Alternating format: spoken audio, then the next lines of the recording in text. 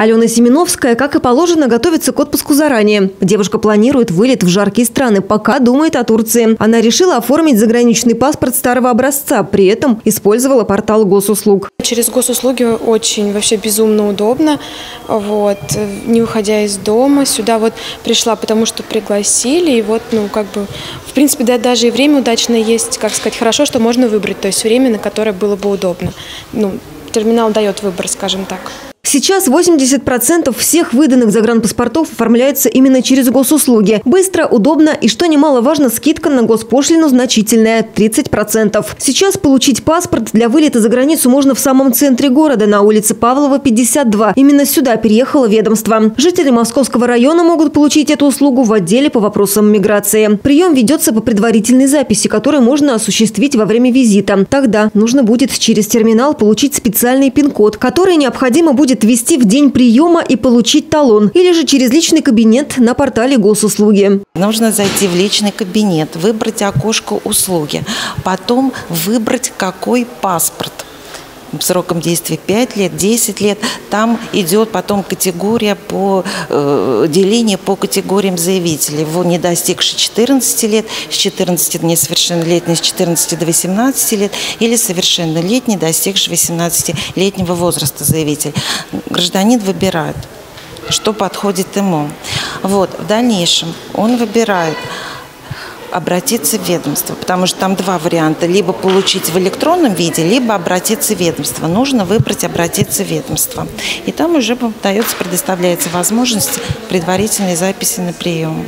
Специалисты отдела уверяют, что граждан без записи также обязательно примут, но только в порядке живой очереди. В новом здании все предусмотрено для удобства посетителей. Здесь же находится компактный комплекс регистрации биометрических данных, благодаря которому можно сделать фото. Еще имеется сканер для снятия капиллярных узоров пальцев рук, проще говоря, отпечатков пальцев. В этом году были внесены изменения в сроки выдачи заграничных паспортов. Сроки отчитываются с момента предоставления полного пакета документов и заявления.